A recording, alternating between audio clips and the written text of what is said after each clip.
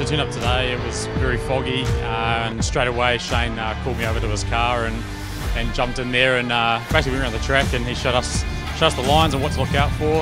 Um, and then uh, yeah, it was a shakedown um, before we went out, and then I was straight into it. So it was um, yeah, the first couple of laps were pretty cool. Um, I just wanted to just soak it up, and, and then um, yeah, once I got comfortable with the car, then I yeah, just went down the back straight with the grid on my face and, and plucking through the gears. So uh, an incredible experience and something I'll never forget.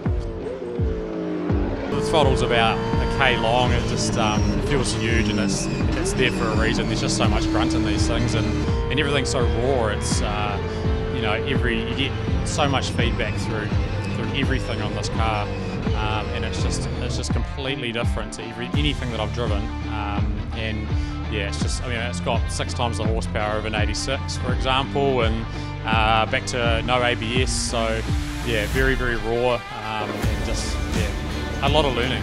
Everyone has just has been really helpful today, um, from from Shane to the engineers to Craig. Um, you know, just breaking it down and making things really simple for me. Um, you know, I was, I was, talking to some of them today, and they just you just make sure you enjoy it. Don't try and push too hard or anything like that, because at the end of the day, you're just here to enjoy yourself, and um, that's exactly what I've done.